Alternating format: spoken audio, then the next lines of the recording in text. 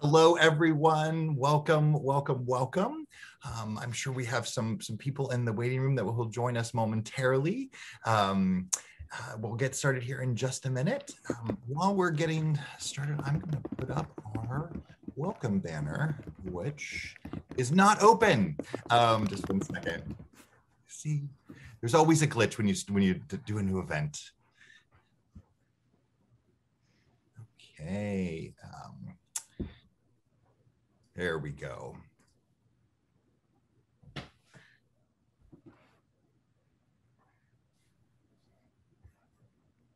Okay, well, it looks like we have a couple people join who've joined, so we're going to go ahead and get started. Happy Tuesday, everyone. Welcome, welcome, welcome to Hummingbird Hour. Uh, this is our one year anniversary of Hummingbird Humanity um, which is very exciting. Yay! Um, I am uh, I'm delighted to uh, to to kick off this this Hummingbird Hour series. Um, and uh, you know, for those of you who um, might prefer to experience the session uh, with closed captioning, uh, the the the program's being re-recorded today, and closed captioning will be available on future on-demand viewing on our YouTube channel. Uh, we'll also release the transcript when we put it on our website. Um, so thank you for being with us today. So I'm going to stop the share here and we're going to dive into a great conversation. So I'm going to talk just a little bit about uh, my first guest, and then I'm going to ask him to do some formal formal welcomes that he uses at his firm, Fearless Communicators. Um, so the reason I wanted to, so Eduardo Placer is the founder of Fearless Communicators, for those of you who don't know, but everyone knows Eduardo. Uh, he is a joy and a light. Um, and um, Eduardo was our first guest on Hope, Heart, and the Human Spirit, uh, the series, the conversation series we had last year, um, which we launched on May 6th of 2020 um, uh, it was a time of, of just freedom and abandon um, for everyone. Uh, no, it was a, it was a difficult time, and um, for for so many of us uh, as we were all navigating life in the pandemic. And uh, Eduardo, um, and it was it was one of my mentors, or is one of my mentors, and he uh, I was talking to him about this idea that I had of having this conversation series, and I'm like, I need to know this, and I need to know this, and I need to know this, and he says, Brian, you're ready let's just put the date on the on the calendar. Um, and so he was my first guest for Hope, Heart, and Human Spirit. So Eduardo, I'm delighted that you're here with us today. I, I feel unbelievably grateful uh, to be uh, marking time with you in this moment. Yeah. Absolutely. Well, we've we, it's we've come a long way over the last year, and today we're going to talk about some of that journey. Um, so before we do some that, the, the, invite you to do your formal um, welcomes, uh, I wanted to make sure I mentioned Ben Green, uh, who is uh, with us today, um, and I promised Ben that I would that he wasn't going to be on screen today, and yet here he is. Um, so I uh, so Ben, I'm going to put you into the the attendee group um, for uh, for the session, and um, thank you for being with us. And so Ben will be helping with questions that you might have, and he will also be adding some some links to the chat. So um, feel free to um, to ping Ben if you have anything that you might need. So Ben, thanks for being out with us. Okie doke. So Eduardo, Eduardo, would you would you kick us off formally uh, with the, the the the way you kick off your fearless communicator events? Beautiful. Thank you for that, Brian. So, as a tradition and as a ritual, there, there are three things that we do before we start any of our fearless events. And I'm going to do those as, as we lead into this conversation and kind of kick off the series, Brian. Um, the first thing that we do is uh, an acknowledgement of elder uh, and a requesting of permission from the elders in our community to begin. And uh, I want to begin by acknowledging the elders in our community and bowing to them, paying tribute, homage, to them and really centering their wisdom, their knowledge, their insight, uh, and uh, their leadership, and begin by acknowledging that. Uh, the second thing is a land acknowledgement. And uh, we've been doing it with Fearless Communicators, I want to say since maybe 2017 or 2018. Uh, part of our global work takes us to Australia, and in Australia, it's part of the course. Uh, and the first time I witnessed a land, land acknowledgement, I was so moved and thought we need to start bringing that to all our, our events in the US. I know in Canada they do it with more frequency, but it's not something that has been really seen very much in the US. And I think now it's it's emerging. And I think Ben is going to put in the chat uh, a link. It's called nativeland.ca. And if you type in your address, uh, there it'll tell you the name of the indigenous tribe uh, to the best of their ability. They don't claim to be the, the, the it is just a site, right? But it'll give you a cue into uh, the indigenous land that you're standing on.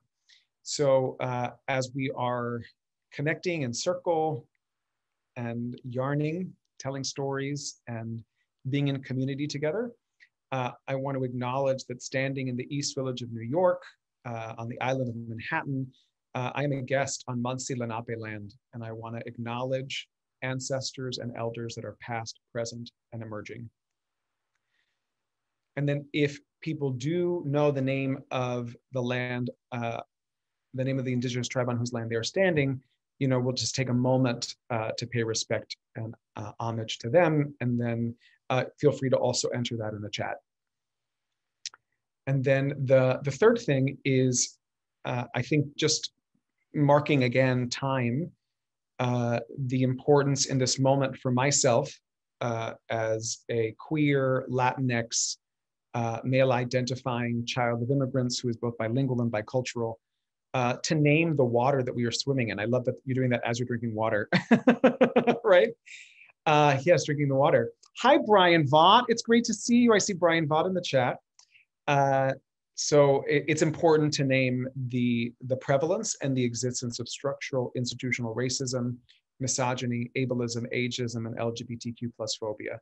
And my personal commitment in this lifetime is to use my voice, my body, and my story in the dismantling of those institutions to ensure justice, equity, and freedom for all. I love that. I love that. Thank you, Eduardo. Thank Welcome. you.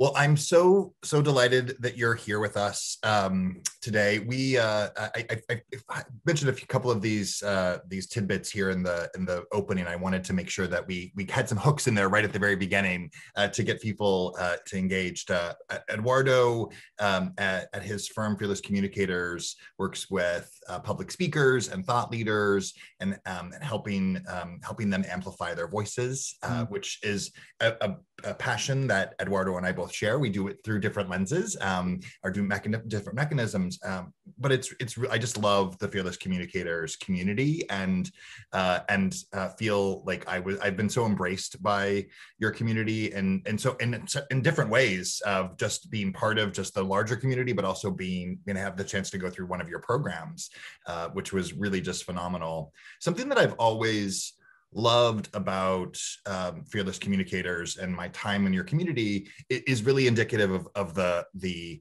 um, the formal openings or welcomes that you just shared with us where you honor uh, different communities and you honor uh, different individuals and honor the context we're in.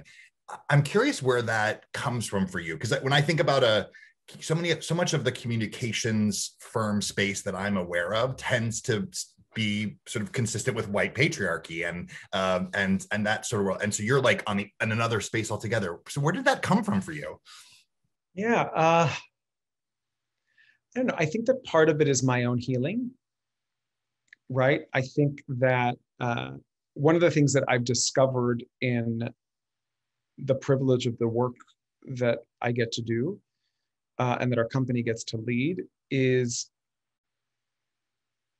is the realization that the way we teach leadership, the way we teach communication, the way we teach presentation is all inherently patriarchal and colonial.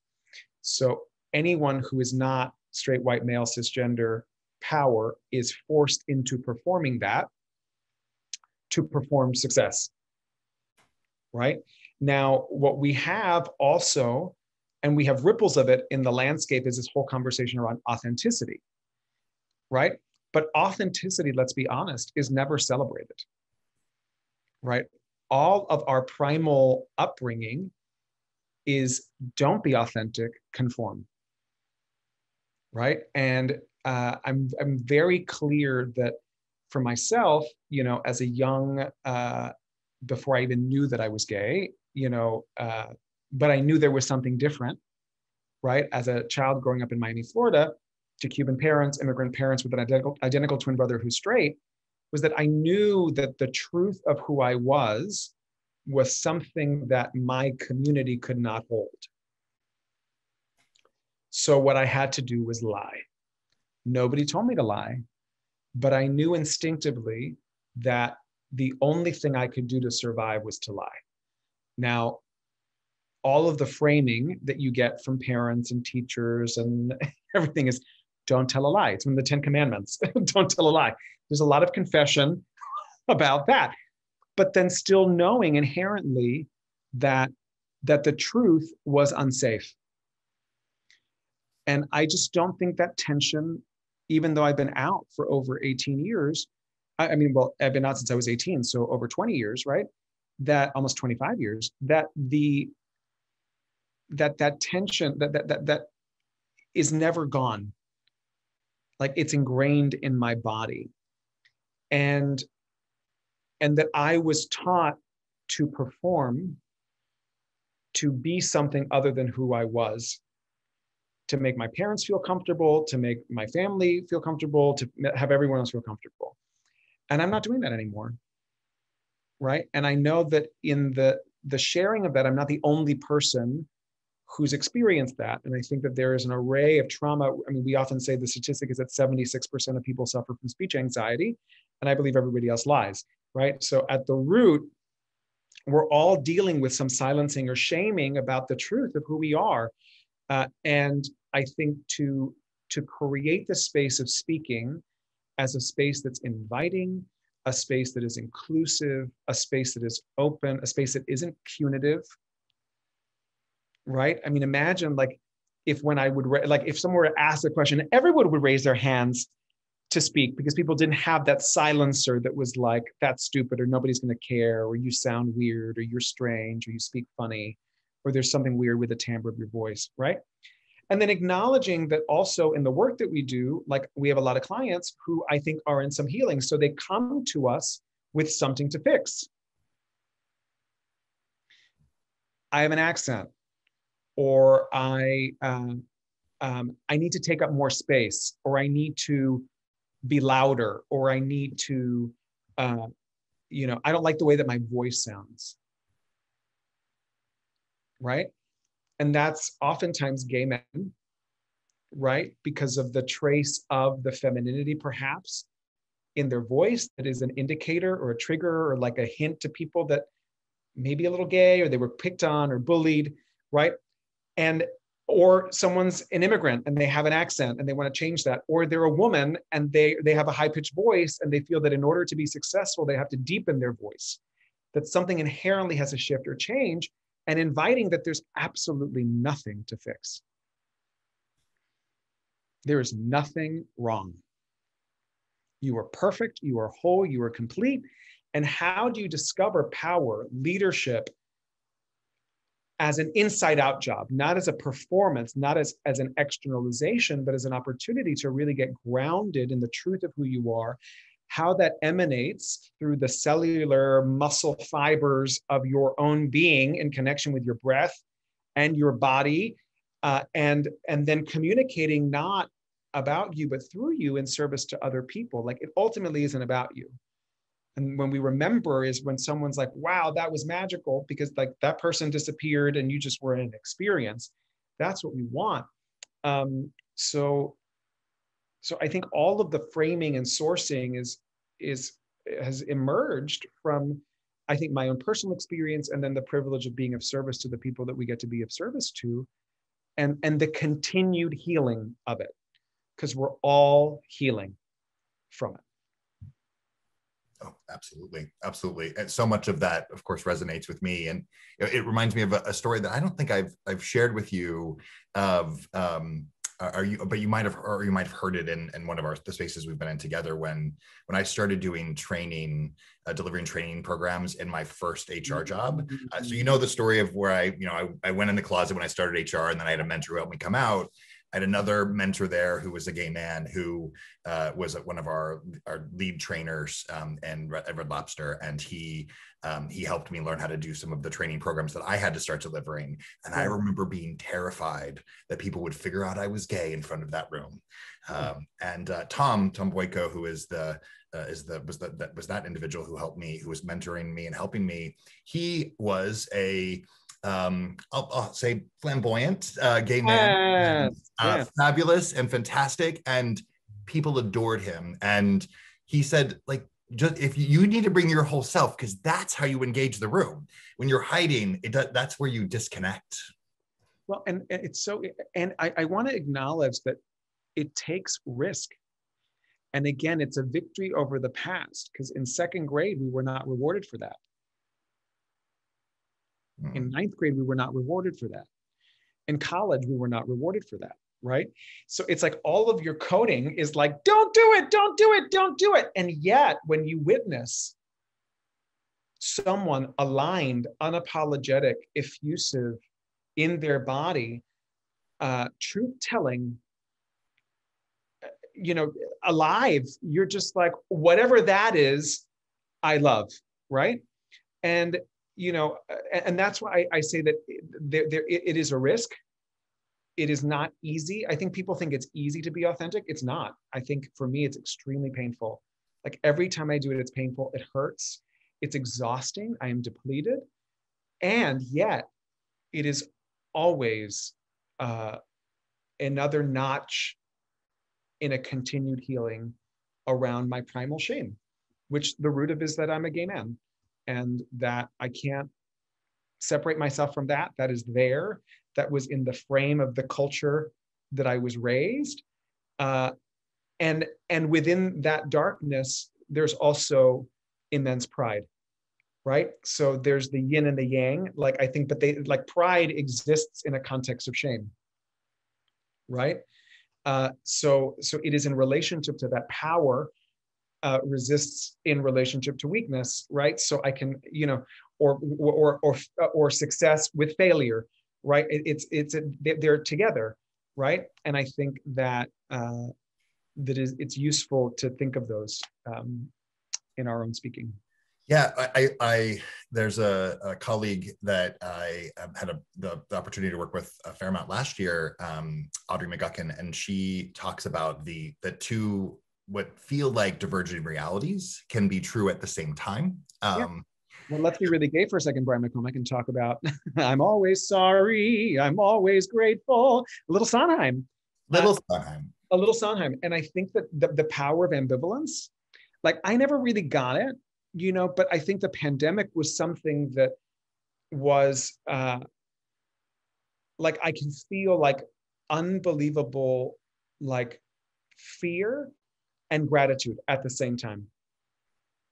Right? Like like i guess the extremeness of that circumstance you know which you know impacted billions of people on the planet at the same time right? That we there was this collective experience of collective pain that like like i could live in the complexity. We could and i think what's emerging which i think is really beautiful um, specifically in the DE&I space, as well as we continue to make space for our non-binary and non-conforming siblings, is the way that we can just disrupt this idea of binariness, right? That we can have an and. It, it doesn't have to be an either or, right? That, that it can be complicated, that our existence is complicated. It's not simple, right? And that we can find richness and texture and uh, and complexity beautiful and interesting and compelling and uh, and alive.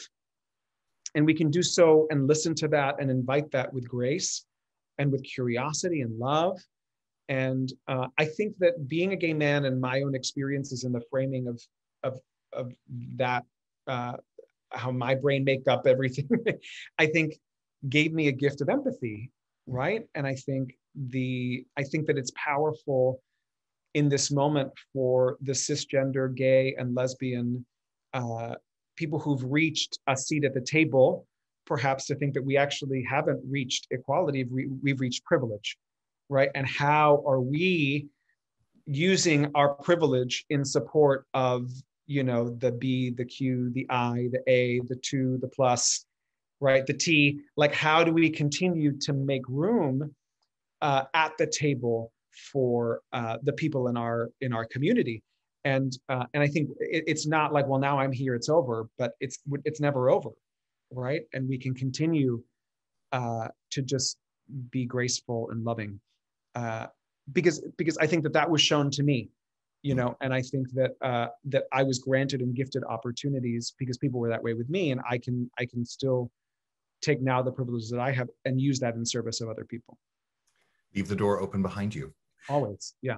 Absolutely. Whenever god closes a door somewhere he opens a window. Window.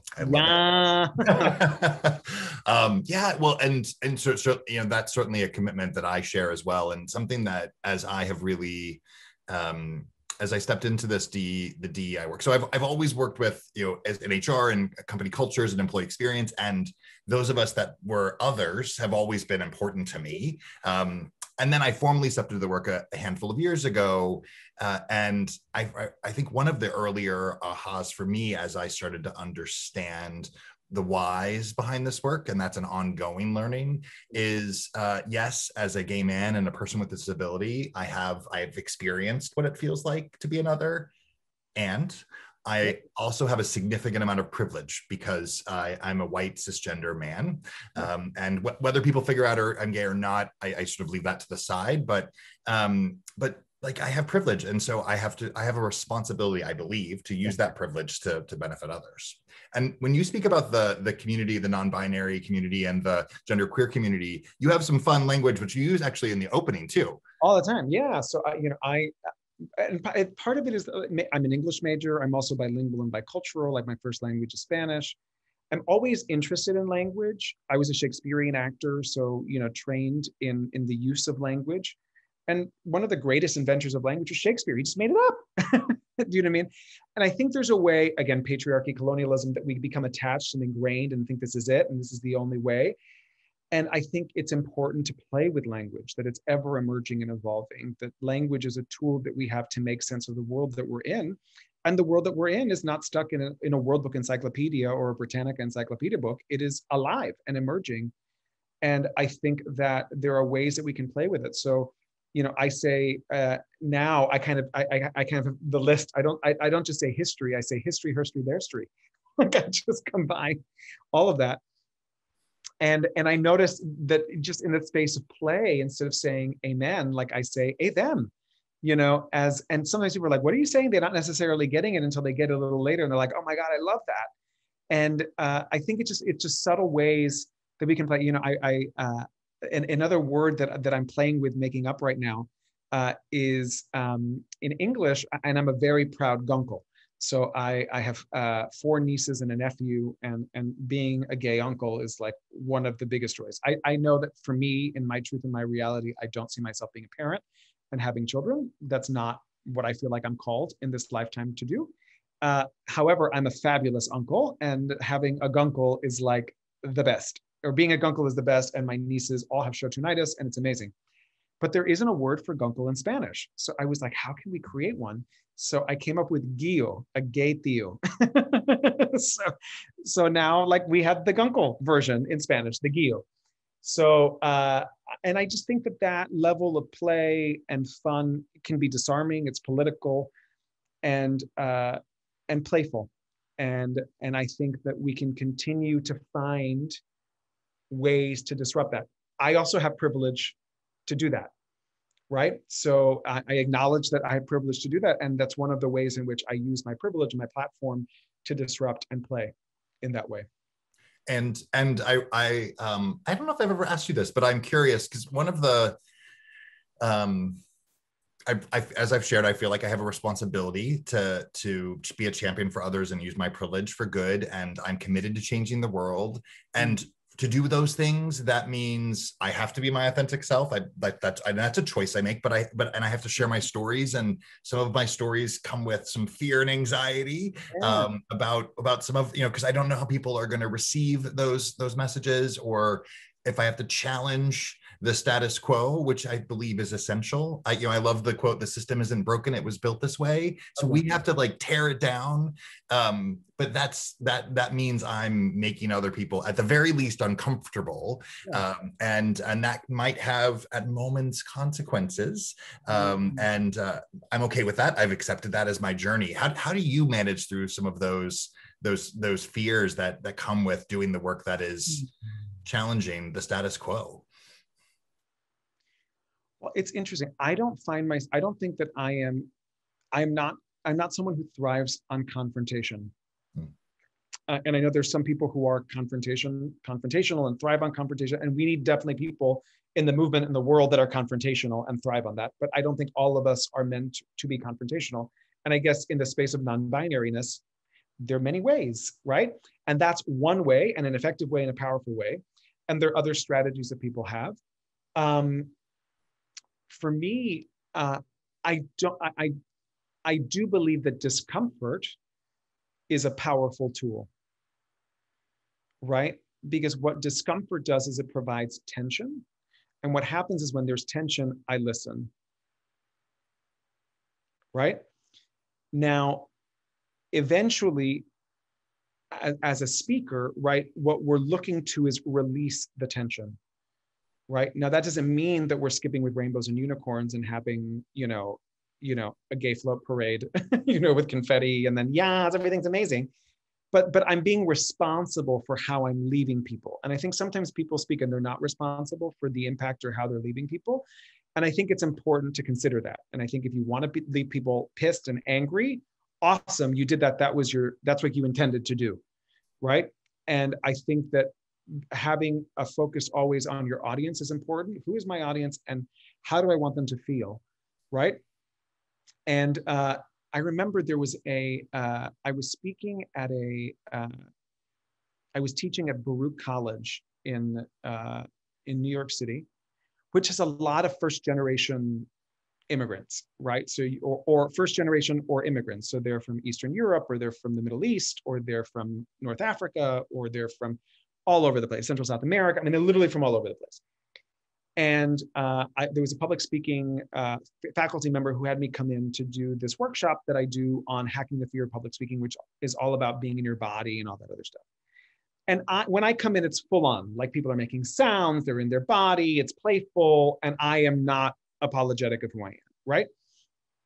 And I could tell that there was some snickering and like some like the 18 year old bro culture was kind of in the in the corner kind of like doing a side eye kind of thing in a jiggy and then what happened is that one of the things that i talk about is what is your biggest fear when you're speaking? Right? And i want to be responsible with the people that are listening that i'm going to say something that's really horrible but I, want to I want to let you know that I'm saying that in advance and I'm going to be responsible for it. But this is how I used it and used the discomfort. So what I said to them is, um, so we all have fears when we're speaking. Most people talk about they're afraid of, uh, you know, uh, you know, not being good enough, not smart enough. My biggest fear is that some of you think that I'm a faggot. And if you're thinking you're that, you're thinking that, you're right. I am. Yes. Let's move on. Right. And all of a sudden you could hear like a pin drop And what happened is there was a narrative that was happening in private that I now took control of and I named it. And I, by naming it, I disappeared it. And they were all in it with me. And I completely shifted the power dynamic in the room. Right?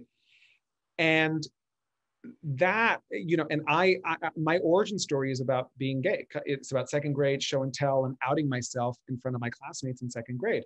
And i find myself in places all over the world where i tell that story where i have to gauge is this a safe place for me to tell that story? Is it hmm. safe for me to out myself in ramallah in palestine? Is it safe to out myself in jerusalem for a group of orthodox jewish women? Like the moment that i name myself and out myself, do I now lose something in their listening that has them now out of it and actually not engaged because the truth of who I am has now disrupted their ability to experience this because of their bias or judgment or whatever, right? So, uh, and you know, I, I facilitated events like the Muslim Jewish conference. I'm not Muslim, I'm not Jewish, you know, but you know, and you know, around public speaking and entrepreneurship and all that other stuff, right? So uh, I, I was a faculty member at a, again, I'm, for some reason I'm talking about Israel, but I at a university in Israel, which was at the center of like uh, it was a medical uh, MBA program. So it was medicine, military, business, you know, and I'm telling the same story about Sammy the SEAL and my fear of all of them think that I'm gay, right? Like the truth of that, the naming that. And the thing is that no matter what, whenever I name it and say it, and I did tell the story in Palestine, I did tell the story, uh, you know, for the faculty that when I do that, all of a sudden there's a listening. And hmm. people are just present to the truth.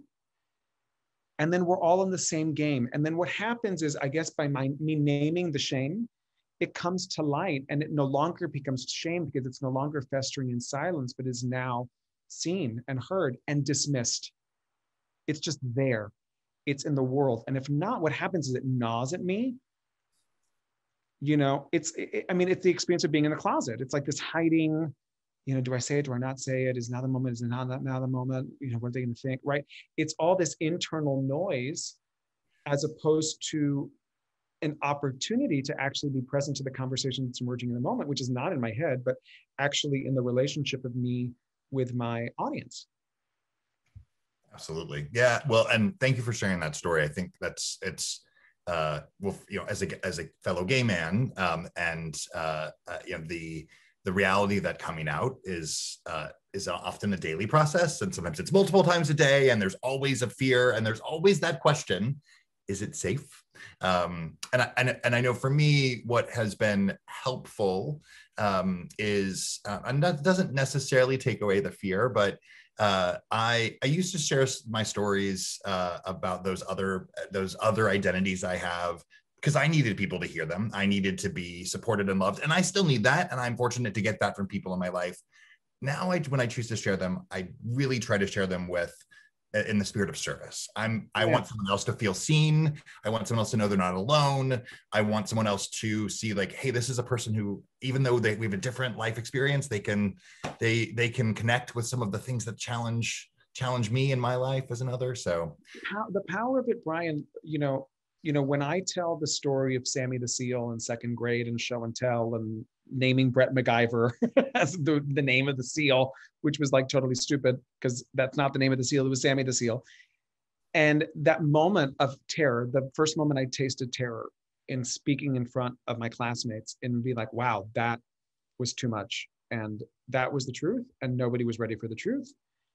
Um, is that even though that in the in the power of me sharing the specificity of my experience right what happens is people relate to the specificity of how whatever that looked like for them right it's not the same moment but it's what i call the my big fat greek wedding approach to storytelling the reason why my big fat greek wedding was funny was because it was big it was fat and it was greek right? If it was like my random wedding that was nothing happened and everybody was really bland, you know, nobody would care. It wouldn't be funny. But in the in the amping up of the Greekness of it, right? I think I located my Cuban family and the craziness of my Cuban family in that story, right? And we find our own ways into that experience, right? And I think that in the power of sharing the specificity of the identities or the things that you're dealing with, like I think we relate to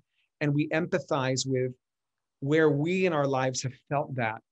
And that's, I think, the power of human connection. I think that that's where we connect. And, uh, and I don't think it's a competition, right? I think sometimes uh, we get into competitive trauma and competitive, uh, which is all about the person right and i think i, I love that what you said is like um, the opportunity to allow your story and the truth to be of service right and i think when it really stands in that way we experience it differently i think it's it, it, it feels generous mm. it doesn't feel awkward it feels generous and i think that that's powerful Yeah, agreed, agreed.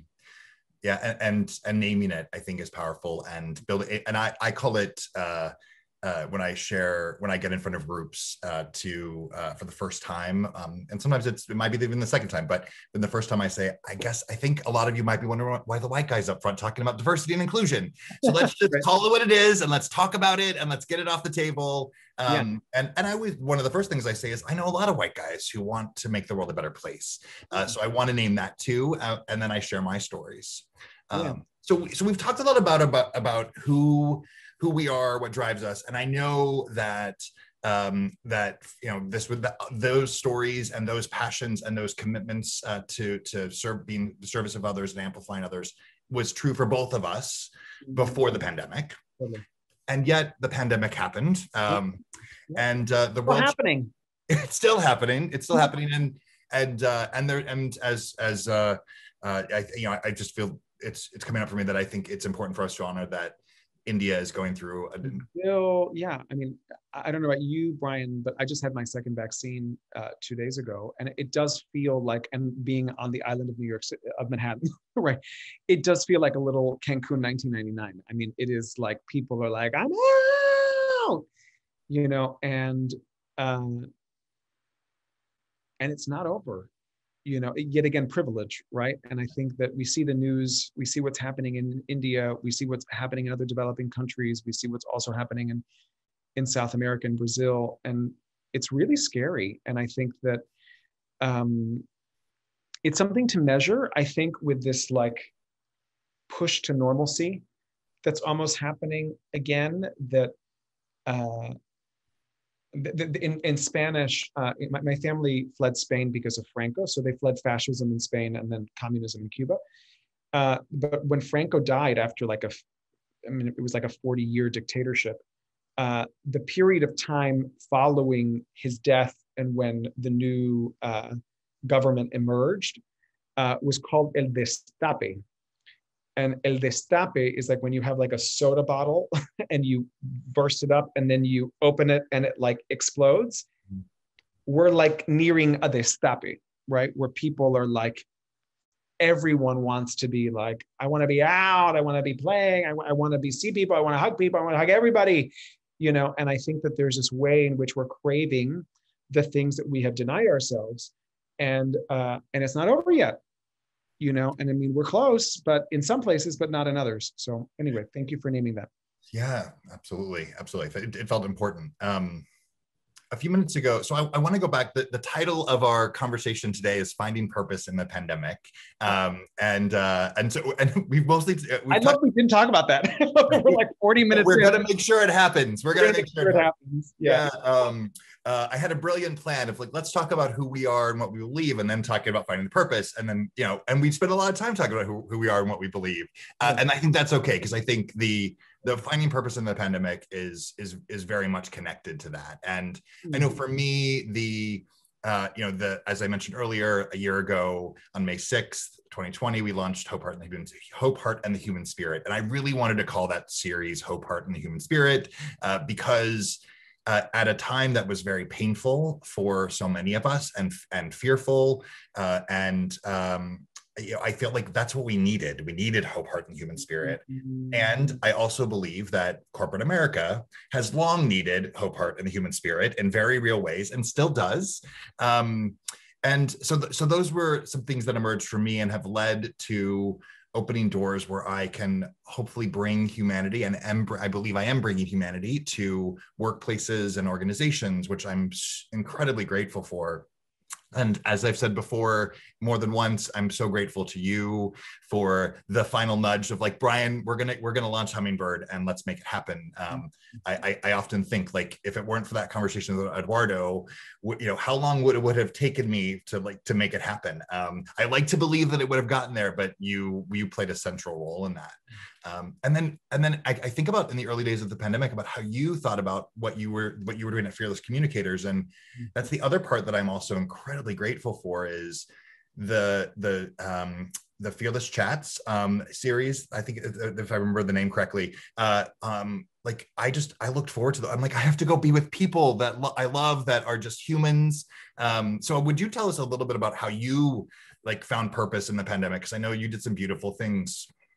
Well, thank you. Um, I think that the biggest we found out so in in March, early March of 2020, we were in San Francisco running one of our global women's programs. It was a live, it's a live in-person event. It's called Fearless Force Public Speaking for Visionary Women Leaders. Uh, we were going to be going to Australia three weeks after that to run a program in Sydney. You know, then I was going to be in Morocco with my best friend who'd been recovering from bone cancer, and we were going to have a little vacation and celebrating him being in remission.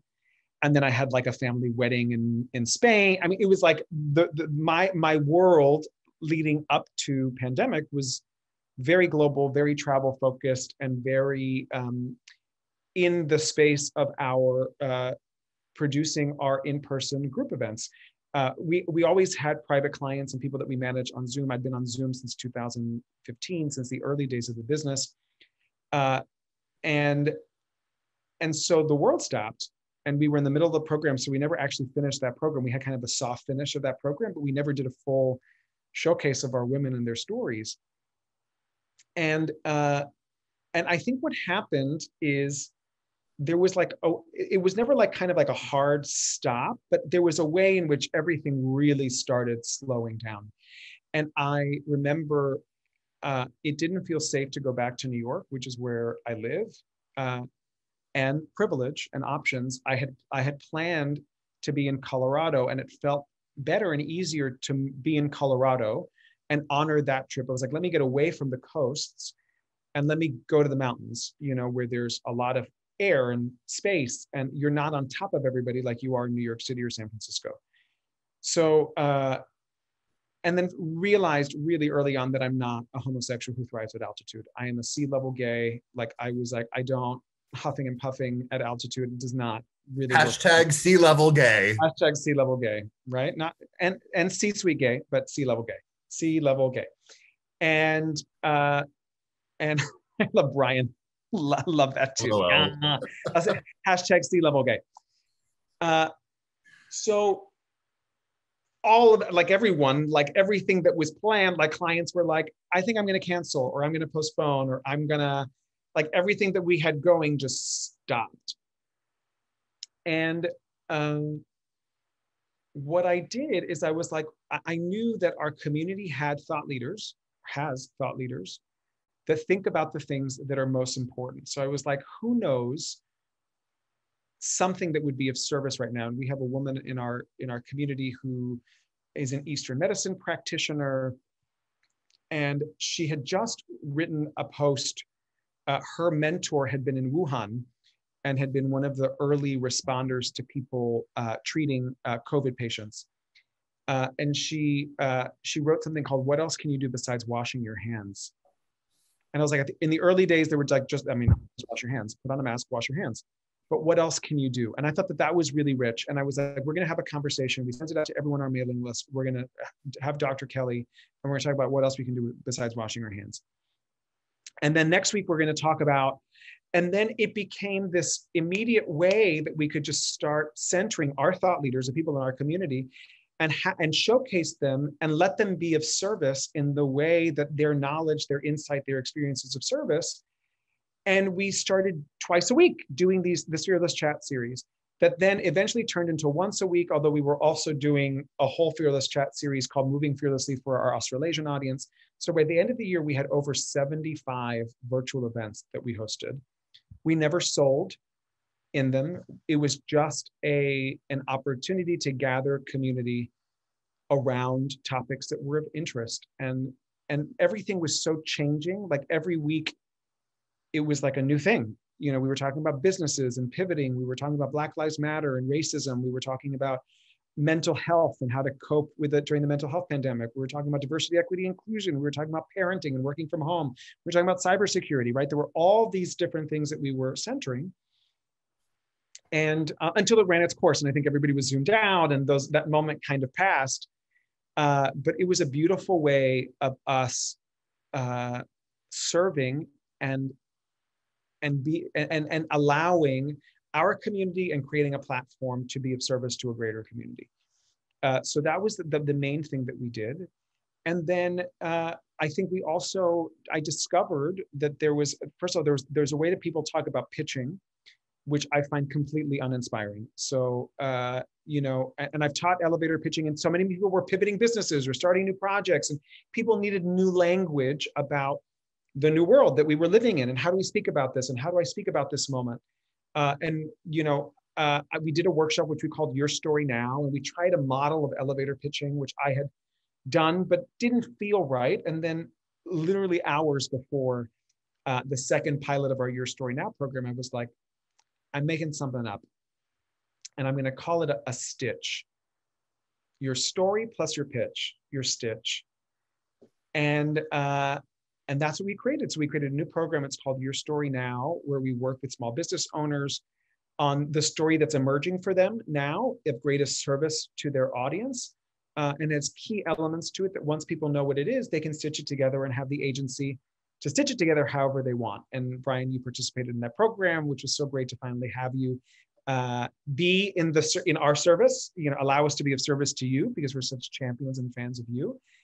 And um, and that was, you know, we've now we we're about to do our ninth program you know and we've we've done it in australia we've done it in the in in north america. We've had people all over the world participate in the program and it's been really profound to do that work.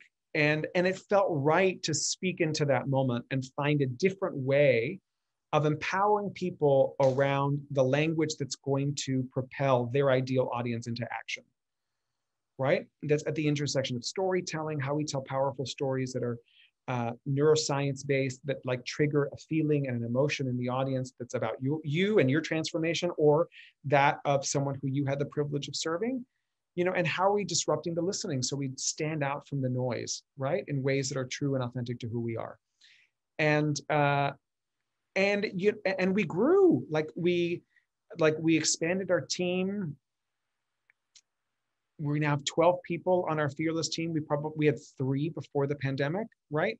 So lot, the majority of the people who are our team members are theater practitioners who've suffered so much during the pandemic right? So creating opportunities and avenues for them to use their skill set right? Um, our team has one straight white cisgender male. Everyone else is lgbtq plus woman bipoc right? So um, uh, it's just been a beautiful space of growth. And I think with privilege, acknowledging uh, and looking for abundance in the midst of scarcity, right? And when scarcity is just a breath away, how can I reframe that and step into and uh, and be present to what's possible? Where is there abundance? Where's there fruit? Where's there's where's there green? Where is there uh, plentitude what am i not seeing? What, what's fertile? And and that doesn't come from force that doesn't come from push. That comes from listening uh, that comes from feeling. And it really comes from flowing. Where is the energy? And then kind of like attuning to that. Yeah.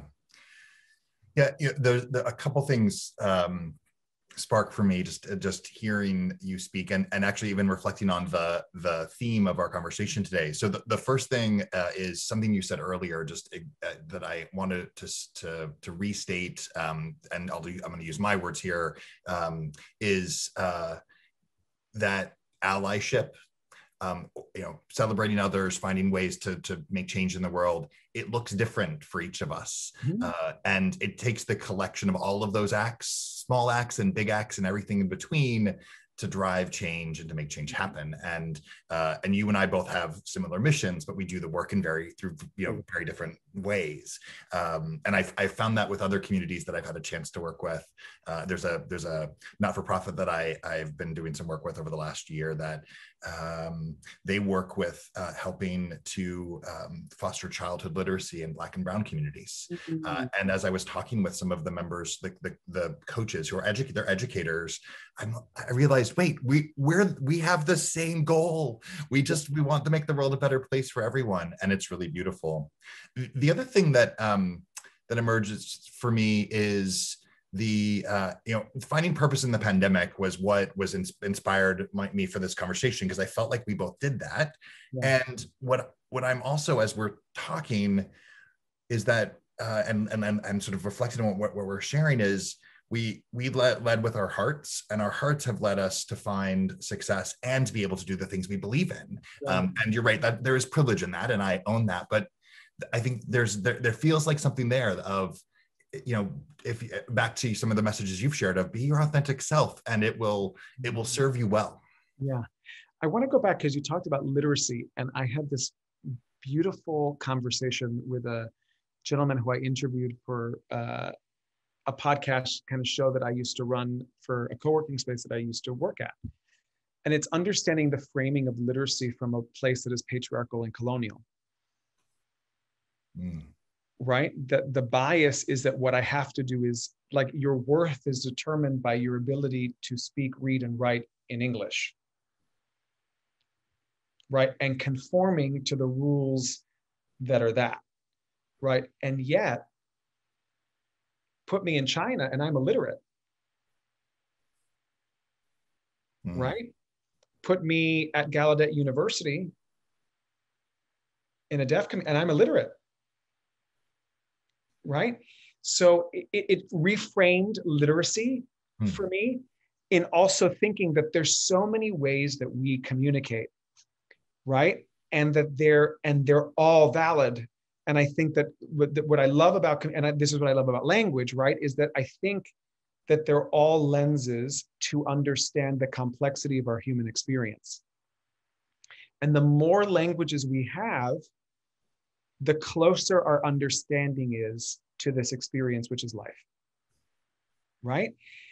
And, uh, and I think that, that, I mean, one of the privileges of the work that I do is being with storytellers that are bringing their multiculturalness to it is the richness of that. Like I remember there was one woman, um, well, I, I, I have the privilege right now of, of being of service to a young woman who is from Ghana and is uh, was a child immigrant to the United States, and we're telling her story. And in a typically American kind of biased way, like, you know, which I want to name for myself, you know, at one point in her story, I said, uh, you know, I'm curious, like when you were home in Ghana, like when you like went to sleep at night, did you dream like of coming to the United States? Did you, what did you dream as possible for yourself? Like, what did you dream about in the way that in our own minds, like we imagine, like, you know, this little child in Africa was dreaming of being an astronaut and then came to the United States, you know, and then went to engineering school and now is on the rocket ship going to like that. Those are the narratives that we have underdoggy framed, right?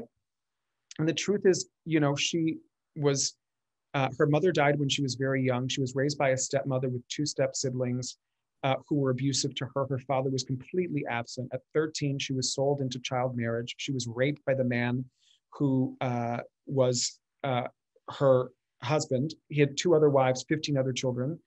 She gave birth to a child. And when I asked her that question, I asked her to speak to it in her own language. Mm.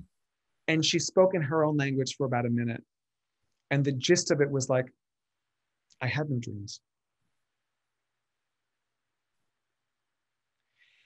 And hearing that, even though I don't speak her language, hearing the truth communicated from the body, soul, spirit, language, texture, fabric of her native tongue, right, was heartbreaking, gut wrenching, and profound right? And uh, it is an opportunity to think about communication like dance is communication, movement is communication, right? Um, it's not parallel sentence structure and you know indirect object and right and and i think i think we can continue to look for the ands in that and i just felt compelled and honored uh, uh, to bring that in in this conversation yeah I love that. I love that. And I also love um, what is what it has been con- in the time that I've had the the fortune to know you.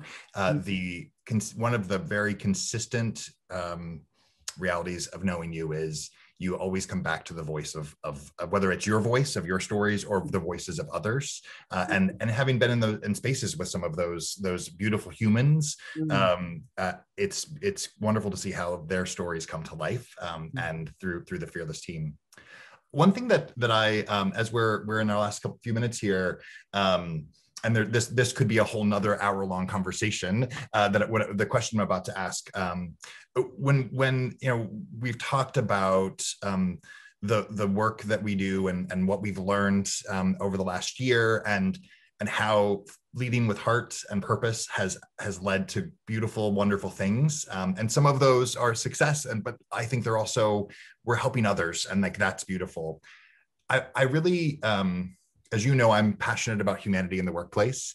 Uh, and uh, something you said to me recently was uh, that the uh, the patriarchal culture makes humans act like machines or treats humans like machines, um, and that um, and that the pandemic really forced companies to see mm-hmm. the that their bodies of people like actually oh wait there's humans that work here and we have to um, we have to engage them um, as such. So what I, am what what as you think about the the lessons that that you've learned and what you believe in, what are what are your hopes for what the larger sort of world of corporate America um, will will take from from this time, or um, what would you challenge uh, corporate leaders to think about?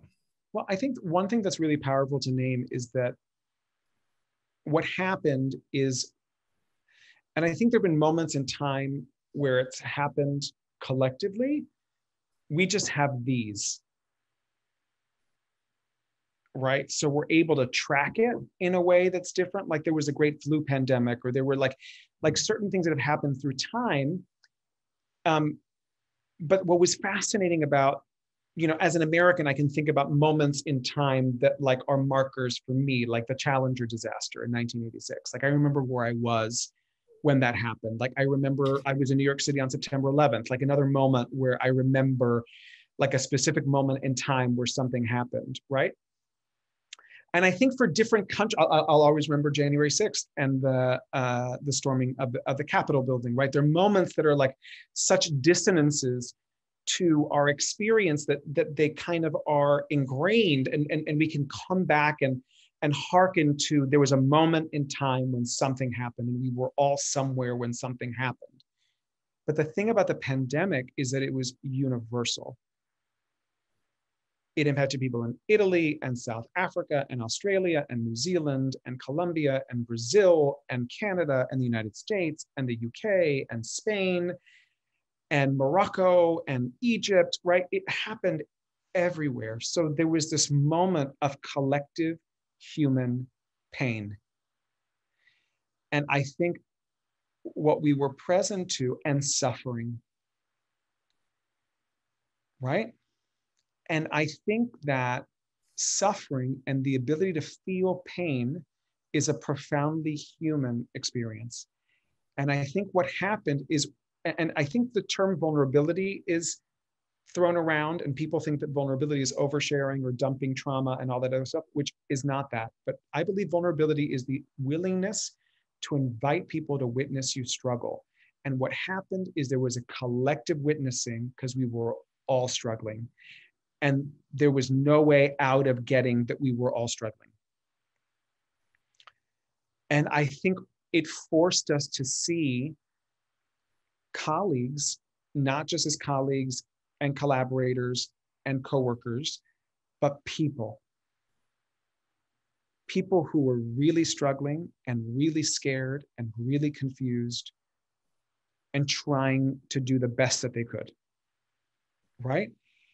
And I think that the companies and the, organiz- the organizations that did it right acknowledge that and then what happened is we had the murder of George Floyd, Ahmaud Arbery, Breonna Taylor, and then the Black Lives Matter, I think forced the hand even more. So for the, the people who weren't doing that, then all of a sudden that upswell made it even more uh, relevant and powerful for people to actually really disrupt and actually be in a space of what the fuck is actually really happening. Right. And uh, and an opportunity, opportunity, I think, to actually uh, see, feel, hear uh, accept responsibility where responsibility needs to be accepted, shift and change the things that aren't working, uh, create the spaces for people to actually really communicate the truth of their experience. And I think really try to build spaces uh, that are truly inclusive of all. And um, and I think that uh,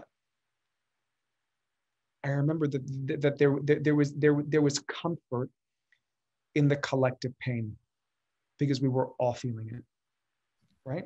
And I think that that uh, was a great human, and I, I hope we don't forget it. it. At our peril, we forget it. Um, and I think human history has a tendency to forget, and it will be at our peril that we forget it. And we need to remember. And I and I think the uh, we really do need to remember. I think it's important. I think uh, the uh, the other part of that is that there are layers to those stories as well. Um, and you know, as we've talked about, there's privilege, um, and it's not the Pain Olympics, as Kenji Yoshino oh. said. Uh, and uh, and there are pains and there are pain and challenges that might be really challenging and deep and um, and we've learned a lot about the the disparities in our communities yes it's of course i love our conversations. I'm so glad thanks for everyone for joining us today. How does how is it already an hour past? Um eduardo you know i'm a huge fan. Um thank you for joining. Thank you for uh for for being the first guest on hummingbird hour as well as hope heart and human spirit. Yes. so as we as we wrap up and say goodbye to everyone i would like to give you the the final word. Yeah i mean the, the one thing that i would love uh, is for people to invite curiosity um, in their own experience and life and thinking about where can I uh, do better, right? Like an opportunity to be really in relationship to that, and uh, um, and with humility, right? And know that it's, it, that there's it's sometimes uncomfortable, and that's okay, right? And uh, and the other thing is that uh, there's a community of people who are on the journey with you, uh, fellow hummingbirds, humming hummingbirding their way, hummingbirds that are humming their way backwards and forwards and backwards and forwards, you know, that are doing their best to um, uh, to shift culture, companies, uh, the way people, uh, the way things move and operate. Uh, and the last thing that I have is an, an invitation, which is, uh, you know, every, the first Thursday of every month, we host an event called the Thought Leadership Forum, which is an opportunity for people to center their own thought leadership, elevate their skills, and then also intentionally network with other diverse global thought leaders. And uh, it's really exciting and loving. Uh, they're an hour and a half and uh, and a beautiful opportunity to be in relationship with some of the things that we talked about and how we can continue to amplify our own voice in service of others. So Brian, uh, I'm sure you'll share it with people. There's a bit.ly link, which is fearless TLF, capital F, capital TLF no one's going to remember that, but it'll go out in the email and we'll put it in a space that's visible. So for people to join, we would love to see you. And again, uh, till then, remember to fear less, speak free. And when that happens, you end up loving more. I love that. I love that. Curiosity, humility, uh, connection, community. Uh, I love those those final words. Thank you, Eduardo, and thanks everyone for being with us today. Fear less, speak free, love more. Bye, everyone.